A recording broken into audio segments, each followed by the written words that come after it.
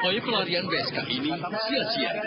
Ia akhirnya ditangkap petugas yang sedang melakukan razia di warung remang-remang tempat ia biasa mangkal di kawasan Desa Awang-Awang, Mojosari, Mojokerto siang tadi. Meski terus meronta dan meminta untuk dilepaskan, namun petugas tidak memperdulikannya dan tetap membawanya masuk ke mobil. Petugas juga merazia sejumlah warung remang-remang di Desa Ngerami. Di warung yang biasa dijadikan tempat transaksi para PSK dan hidup belang ini, petugas juga memeriksa setiap bilik yang biasa disewakan oleh para PSK untuk melayani pria hidung belang. Tak hanya merazia PSK, petugas juga merazia anak-anak jalanan dan pengemis yang beroperasi di sejumlah perempatan jalan. 16 PSK dan 9 anak jalanan serta pengemis berhasil dijaring.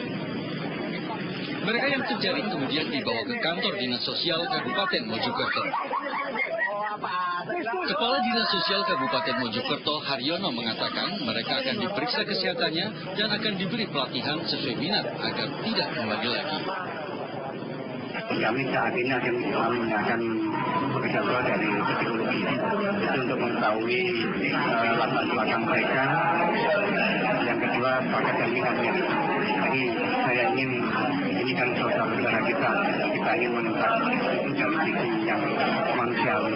Pak, ada kaitannya dengan penutupan lokalisasi Surabaya, Pak? Uh, ada atau tidak ada penutupan, ini tetap akan berjalan.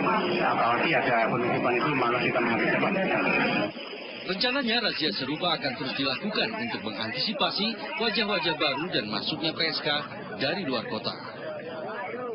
Demikian laporan Handi Firmansyah dari Mojokerto, Jawa Timur. Madrid